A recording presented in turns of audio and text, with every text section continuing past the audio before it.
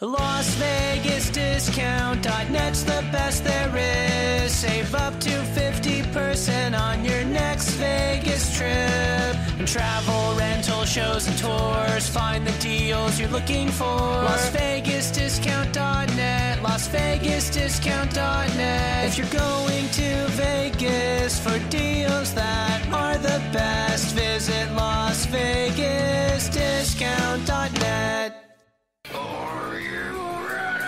Welcome to humanity. This is our one. Whatever it takes, we got to stop. Whatever it takes, it takes is what it took. This is Brock Lesnar, and you're listening to Fight Net Radio. Yo, hi, this is Sugar Ray Leonard, and you listen to Fight Net Radio. Ladies and gentlemen, it's time to listen to Fight Net Radio. Lee Harvey Oswald, what's your name? How am I supposed to know you? This is Frank Shamrock. We're listening to Fight Net Radio. Hi, this is Tia, the Knockout St. John. You're listening to Fight Net Radio, and there's no way I would ever touch Lee. This is Chuck Jackson Adele. I am Stephan Bonnar, and you're listening to Fight Net Dan Radio. Henderson, you're listening to Fight Net Radio. Everybody, welcome to Fight Net Radio, where Lee's burning every bridge there is out there. All right. Hi, this is Manny Pacquiao. I'll fight anybody on Fight Net. But it's a fact. You know what I mean? I how dare them even to challenge me these fighters, you know what I mean? You know what I mean? With their primitive boxing skills. You know what I mean? They're as good as dead. Hello? Hey, hold on, Lee. It's Willie. what do you want, bro? Okay, send me a photo, please. Hey, tell him I want the uh, login instructions for the Fight Net Radio. Uh, Instagram FightNet login. You haven't sent it yet. We'll send it, please. Okay, we'll find it. I gotta go. I'm doing a show. Hi everyone, welcome to Fight Net Radio. Lee Honish Andrew Lavashay. I recorded all that. It was awesome. Babies in the background. Yeah, there's still a baby in the background. No coffee. I'm waiting for my my sec. Well, it's my second cup, third cup, however you want to say it. Hi everyone, welcome to Fight Net Radio. Lee Honish Andrew Labashay. Uh, what you just listened to is real life. That's Andrew at home. That's Willie, one of our former co-hosts. I guess he's a roving co-host since he just snipers me when I'm in Vegas. Bro, where are you at? uh, where do you want me to be? Well, I figured you'd be at the fight. Okay, I'm in Vegas. What do you want to do? All right, I'll text you. And then I never hear from him. how, how how close was that to nailing that situation? Yes, sir. Uh, that's so he, great. He had it. He has it a little worse. What did What did Willie pull off? Three kids in like three years. They're all. Was, they're- she's never not been pregnant. yeah, they were all back to back to back. I mean, since I've met him, she's never not been pregnant. like Chris has at least had some periods where you didn't put a hand on her. Yeah, there was a break. Man, So yeah, he's got her. He's going to be having it rough for a few years here. that's hilarious. Hi, Actually, for everyone. the next eighteen. But yeah, go ahead, Lee. Hi, hi everyone. We talk about boxing on this show. Uh, Andrew is a beat writer, fan, former amateur boxer. I am a professional stuntman. I don't really know what it is that I do. Uh, my job is to read the news and then say something funny about the news.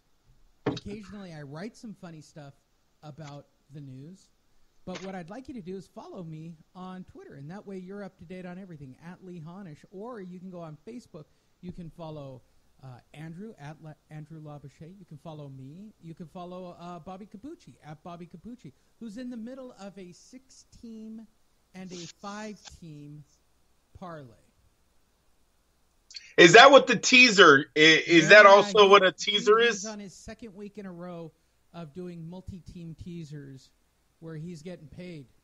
Yeah, I seen him put that up, right? And I didn't know. I didn't know if a teaser is a parlay or what. That's huge, That's though. If he, card. Yeah, those uh, a six team Jeez. and a five team. He did it last week. So all you have to do is sign up for Fight Net Radio, right? You get a Wednesday bonus show with Bobby Capucci. We talk MMA, grappling, I talk about two minutes worth of Brazilian Jiu Jitsu. Bobby's And that's another thing, Lee. I was going to say, follow Fight Net Radio because that's where you're going to get. content out. Yeah, that's where you're going to get most of it. Yes, sir.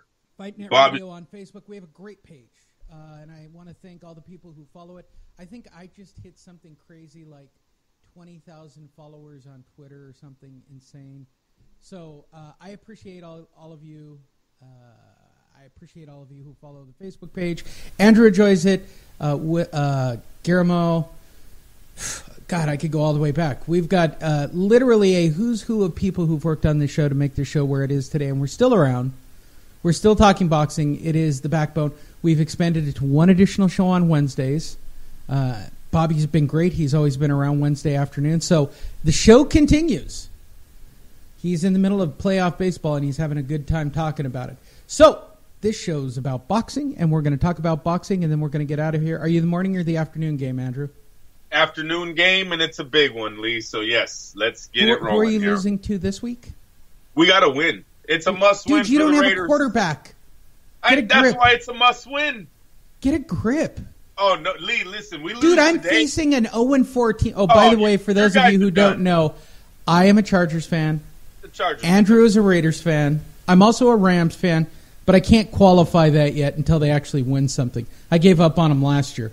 Uh, and for those of you who wonder, Bobby Capucci's a Jets fan, which is even funnier than being a Raiders fan or a Chargers fan. Right, right. Chargers, Jets fans get anally raped harder than either of us by far. And trust me, Andrew's had some crap seasons that I have enjoyed talking football.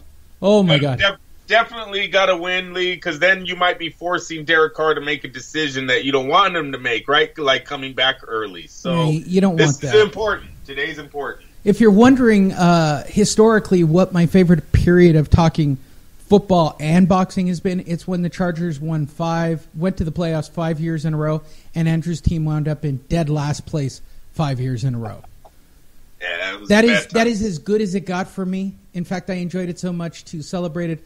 I went up to the black hole and saw a game while the Chargers were still halfway decent, and watched the Chargers beat them in the black hole.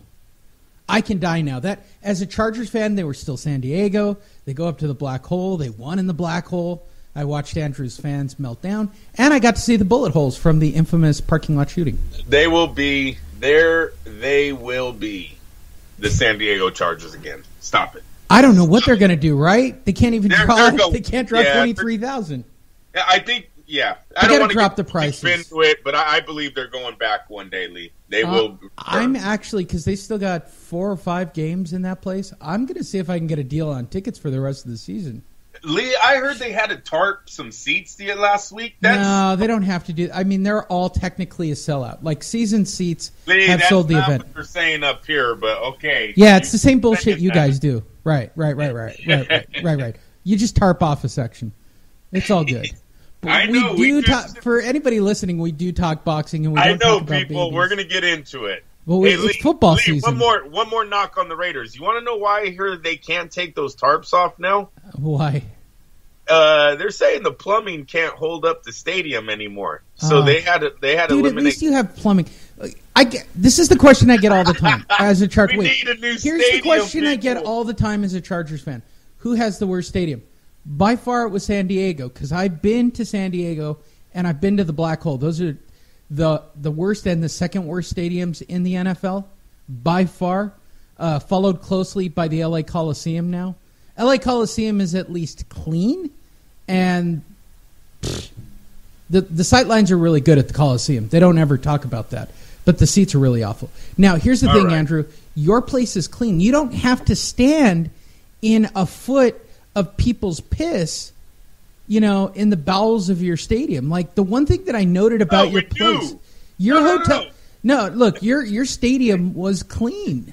That was the one thing that stood out to me. Well, maybe maybe because they eliminated thirty thousand seats. Um, yeah, I'm telling you, the plumbing's really bad. That's that's the knock. oh, our plumbing was horrible in San Diego at Qualcomm. It's sad. Uh, I didn't know that. So you guys have the same issue over there. Yeah, huh? you'd Yeah, stand and pee. We'd go use the porta potties. In fact, when U2 played there, I just went. I just went and saw U2. funny. I went and saw U2 at Qualcomm, right? So to to make the concert not awful, they put outside vendors. They brought in food trucks. They have to do that because they can't prepare enough food for fifty thousand people. And they brought in a bunch of porta potties. I mean, that's crazy at a stadium. Yeah. Yeah. I mean, All that's right. what they're doing right now for the Rams. I look. At least they're smart with the Rams. They know they're going to be there for five years. You should see this stadium they're building, Andrew. The, if the Rams can continue to play at this level, He's a billionaire. Look, Billi- I'm going to say it again. This stadium is unbelievable. It's it's going to be completely insane. But I digress. We will talk about. Uh, we're going to talk about uh, boxing. Yes. There isn't much to talk about at boxing, but we're going to try to fill the next 30 to 45 minutes of talking boxing for you to entertain you. As I said before, he is the beat writer. I am the professional asshole. We try to do the show as clean as possible, but it does eventually go sideways. Viewer discretion is advised. Ant Crolla at Ant Crolla at A N T C O R C R O L L A. Uh, I know his Insta- I know his actual Twitter following. Don't ask.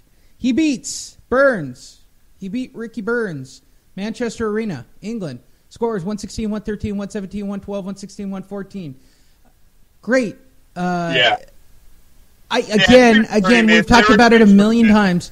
We're talking about Eddie Hearns, the greatest promoter on the planet, right?